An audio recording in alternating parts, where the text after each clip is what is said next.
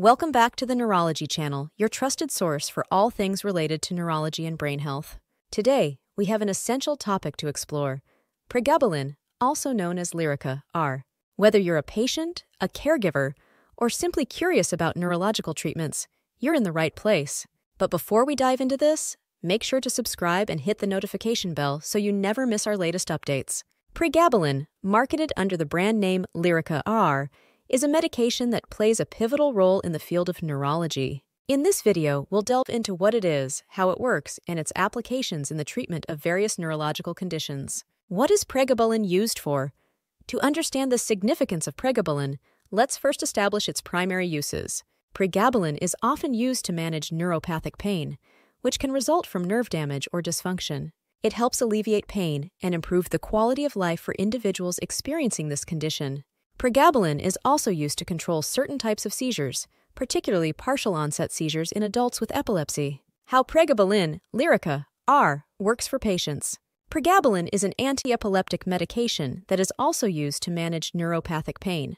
Its mechanism of action is related to its ability to modulate the activity of nerve cells in the central nervous system, CNS, managing neuropathic pain. In conditions such as neuropathic pain, Nerve cells in the CNS can transmit pain signals too rapidly and intensely, leading to chronic discomfort.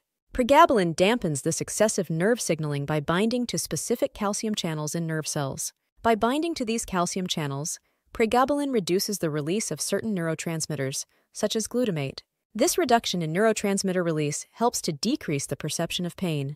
Think of it as turning down the volume on pain signals in the brain.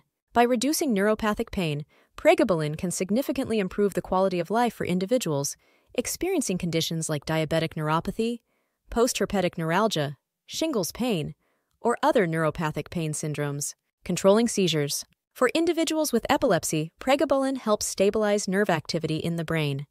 It does this by binding to calcium channels in nerve cells, reducing the release of excitatory neurotransmitters. This stabilizing effect helps prevent the rapid and abnormal electrical discharges in the brain that can lead to seizures.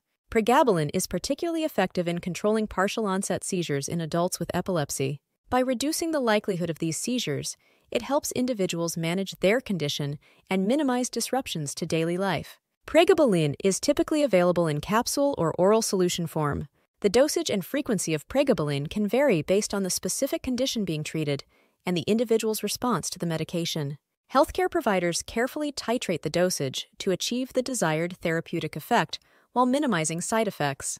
While pregabalin can be highly effective for managing neuropathic pain and seizures, it's important to understand that its effectiveness may vary from person to person. Additionally, like all medications, it can have side effects, including dizziness, drowsiness, and potential interactions with other drugs. Patients prescribed pregabalin should maintain open communication with their healthcare providers to assess treatment response, monitor potential side effects, and make any necessary adjustments to the medication. In conclusion, pregabalin, known as Lyrica R, is a valuable medication in neurology used to manage neuropathic pain and control seizures by modulating nerve activity. It serves as an essential tool in improving the quality of life for many individuals dealing with these conditions.